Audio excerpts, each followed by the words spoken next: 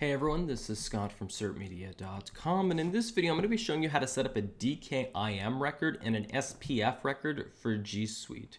So I use G Suite and I'm using it for an alias for the dailyexposition.com, another website that I own, and I haven't gotten around to setting up the SPF and the DKIM records. I'm going to show you how to do that in this video. The first thing I am going to be doing though is I'm going to delete all my old records that I had imported from SiteGround. That way I just have a nice clean start. So the first thing you need to obviously make sure is that you set up the MX records like you were required to set up G Suite. If you have no idea how to set up G Suite, there will be another video on that. This is a little bit more advanced topic that assumes that you've already set that up. So an SPF and a DKIM record help authenticate your emails to prevent them from coming back as spam. So the first thing that you need to do to create an SPF record is there's a nice little documentation that shows you how to do that. For your website, you're going to have to create a TXT record. My DNS is hosted through Cloudflare. If you're using a different host, you may have a different setup. So what you have is you set up a TXT record. The name will be at the at symbol, which is just the root. And then you're going to copy the record that they provide to you. And the value is v equals spf include spf.google.com and the sign for all. That gets part of gets the first part done. This helps prevent your emails from being spoofed.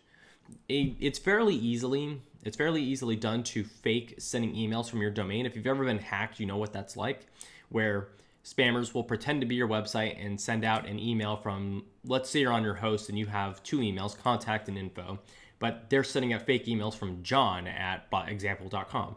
You have no idea who John is, but John Doe over here sends thousands of spam mails to not only your customers, but whoever else he could get his emails sent to. So you can easily add an SPF record, which should help protect yourself from getting added to blacklist and to help authenticate emails. DKIM is the authentication part, and we're going to do that next. After you added this record, you just go ahead and click save. And there we go. To authenticate your email, you're going to need to go into your G Suite account. You're going to go under apps, then G Suite, settings for Gmail, and you're going to click on authenticate email. For your domain, select the domain that you're trying to add the DKIM record for.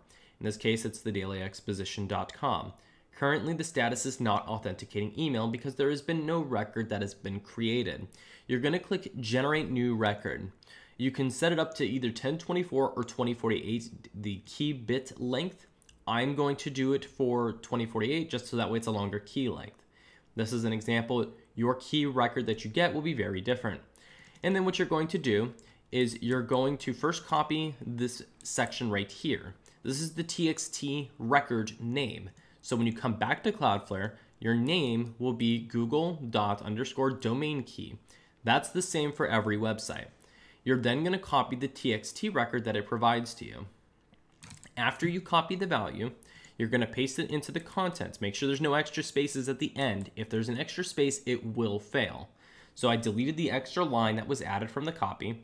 You can leave the top one and you should be able to hit save.